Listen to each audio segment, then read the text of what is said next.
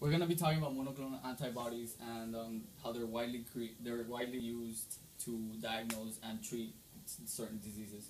They're usually created by injecting the desired antigen into a rodent, and then it goes through an immune response. And this immune response, plasma cells are created, and they mature in the spleen, where they're extracted to then be fused with cancer cells to create hybridoma cells. After this, they're taken out and put into little into wells, um, so that they culture. Each well should have at least one cell that produces the desired antibody. This cell is then taken out to um, re- mass reproduce the antibodies we need.